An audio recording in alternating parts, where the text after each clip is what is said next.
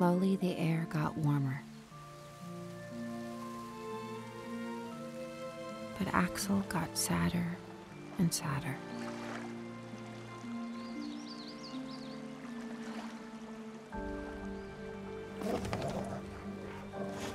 I didn't think Axel would ever take me off the leash.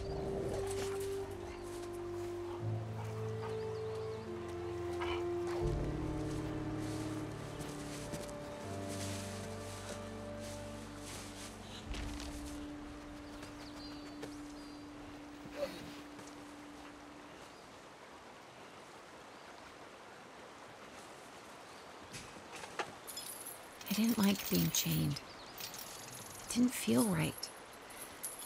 I didn't know how to help Axel and still take care of myself. I needed to do go home. It's just me and you. You're the only friend I've got. I love you, Bella.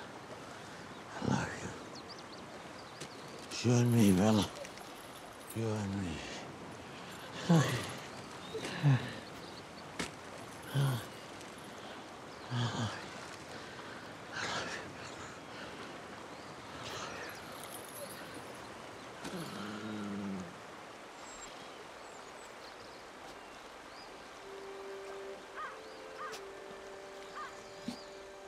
I laid with Axel while the heat slowly drained away from him.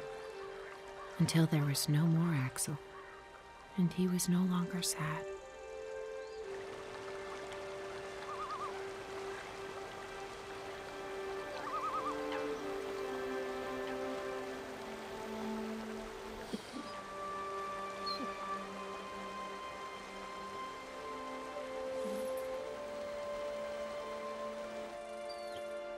I sat, being a good dog, thinking someone would come for me.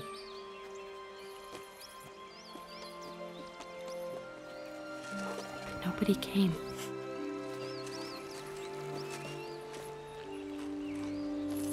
Being a good dog didn't work.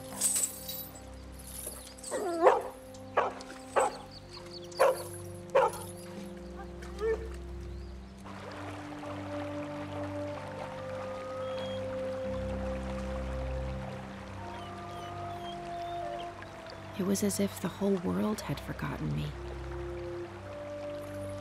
Couldn't give up.